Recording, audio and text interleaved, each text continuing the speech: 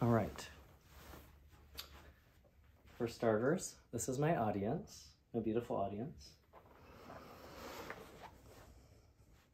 It's you guys right there. All right, grab onto my little clicker. All righty, so we all have a favorite water bottle brand. Go ahead and think of yours now. Mine was always Fiji. You know, that beautiful bottle, the mountains, the waterfall. Now think about the journey that this water bottle went on. So first, it comes out of a spring in the ground. It's placed in a bottle. And then you buy it from a store, you drink it, and then what? Imagine every time that you drank a water bottle, that instead of throwing it away, you had to hand it to this guy. Would you still buy it? I'm Art Schupbach. I'm an environmental science student here at Eastern. I'm also a climate ambassador for Washtenaw County, and I do a lot of research on water bottles, especially single-use plastic. So there's a lot of myths about water bottles, whether they're safe, whether they're not, whether tap is safe, all of that. I'm here to tell you that water bottles cause harm to the environment, harm to you, and they're also quite expensive as compared to tap water.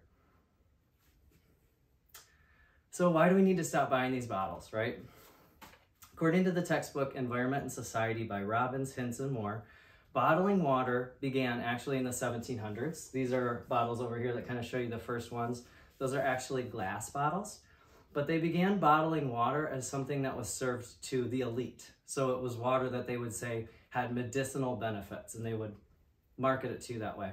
I have an Evian bottle here, just kind of as proof that we still have that elite status. We have some celebrities nowadays that will feed their cats and dogs Evian bottles, um, that kind of thing.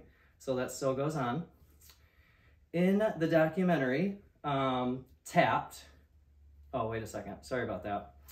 According to um, the article Bottled Water versus Tap, the difference between tap water and bottled water is astronomical as far as prices.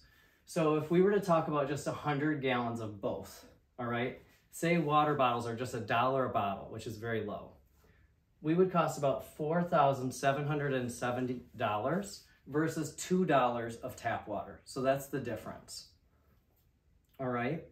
Um, this is all pure profit for these large corporations. So some of these companies, especially companies like Nestle, which is actually a Swiss company, it's almost all profit because they take this water out of the ground for basically nothing, including places like in Michigan. Um, the article Nine Facts About Water Bottles article states that 64% of all bottled water is actually tap water that comes from a treatment plant, just like what comes out of your tap. There's also cost to recycling and disposing of your water bottles. The bottles themselves have a negative impact on the environment. One huge misconception is that bottled water is actually safer to drink than tap water. According to the documentary Tapped, bottled water is actually wildly unregulated while municipal water sources actually have to be um, tested almost daily as in comparison. In the same documentary, they showed just how harmful the petroleum-based chemicals are in the water bottles. So you see that um, the bottles themselves are made of oil products that cause harm to the body. Um, there's even this harmful um, substance in them called PET, um, which is posing health concerns to us as well. According to the article, PET bottles, potential health hazard, most single-use plastic bottles are made from this chemical compound that actually um, mirrors the hormone estrogen. So it can like change your body. There's actually a new article published for the first time four days ago. The title of it, Microplastics Found in Human Blood for the First Time. So this is meaning that plastics from water bottles and other plastics that break down are going to start impacting us in ways that we don't even know yet. So what is microplastic? Well, it's not a micro problem. That brings us to the environment. So how does the water bottle industry affect the environment? According to the article, Nine Facts About Bottled Water, there's a lot of great info in that article, by the way. 29% of all water bottles are recycled. So the rest are either in a landfill, um, on the side of the road, which you may have seen recently with all the snow melting, and also in the ocean. Single-use plastic takes about 450 years to break down. Also, animals who come in contact with this type of plastic are harmed because they're either getting caught in it or they're consuming it and then possibly dying. Remember our friend from the beginning. There's even this place in the middle of the ocean called the Great Pacific Garbage Patch, which is actually about the size of France at this point.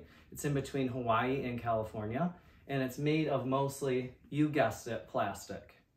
According to the article Worldwide Water Shortage, um, by the year 2040, there's actually estimated that one third of all humans will face water scarcity.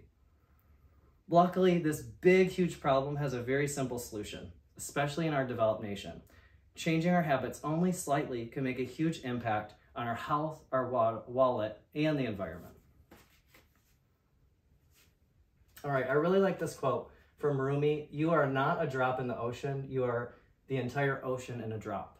So what that kind of makes me think about is our single impact. A lot of times we don't think we really make a difference, but all together as one, we're the entire ocean, right? One drop at a time.